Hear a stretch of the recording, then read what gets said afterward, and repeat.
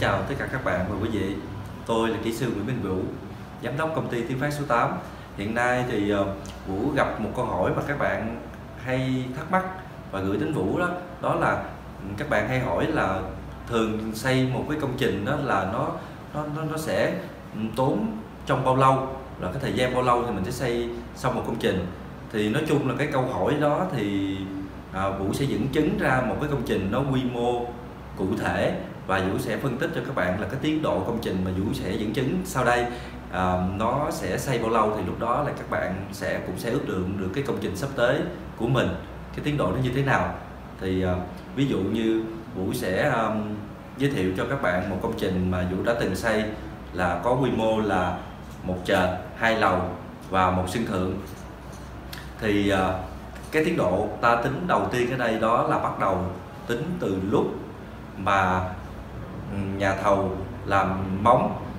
Thì ờ, khi mà là chúng ta làm móng thì cái tiến độ chúng ta để hoàn thành xong móng và cái đà kiền thì nó sẽ kéo dài trong khoảng là từ 10 đến 15 ngày.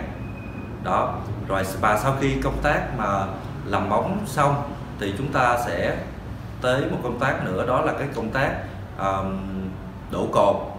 Thì đổ cột thường là chúng ta sẽ mất khoảng 2 ngày để chúng ta hoàn thành tất cả à, công tác đổ cột của một tầng.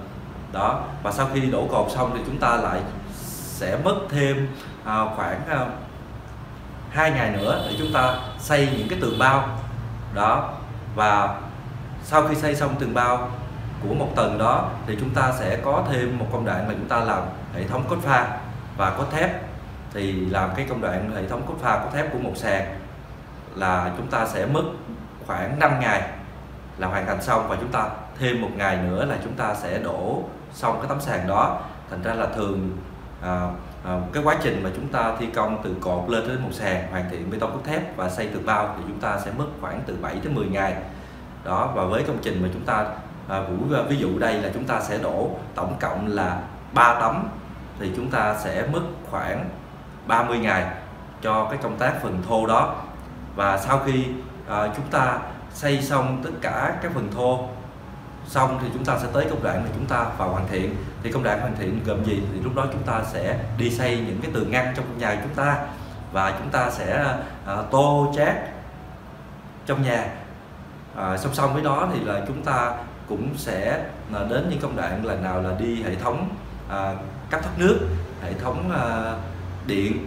Rồi làm chúng ta sẽ à, làm công tác là bả ma tít và sơn nước lát gạch ốp gạch lắp dựng cửa. À, nói chung là những công tác mà để cho hoàn thiện giao nhà thì cái cái cái giai đoạn đó nó chiếm của chúng ta à, nó khoảng là từ một tháng cho tới một tháng rưỡi. Vậy là chúng ta sẽ tổng cộng lại từ lúc làm móng cho đến khi cho đến khi chúng ta bàn giao công trình. Của một công trình là một trệt à, hai lầu và một sân thượng thì nó sẽ tầm khoảng dao động từ 3 tháng đến 3 tháng rưỡi.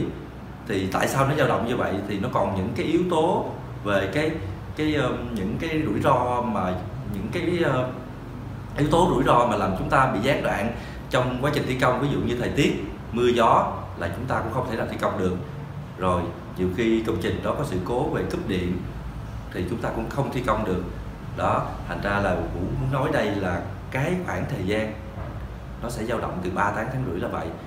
Nếu mà các bạn mà có ờ, muốn biết rõ về cái tiến độ thi công cụ thể công trình mình sắp xây như thế nào thì các bạn cứ gọi cho Vũ. Vũ sẽ phân tích kỹ hơn cho các bạn biết để bạn có thể mà quản lý cái tiến độ công trình sắp tới cho mình cho tốt để mà chúng ta có thể sớm nhất uh, xác định được cái ờ, thời gian mà chúng ta dọn vô ở như thế nào. Xin chào các bạn.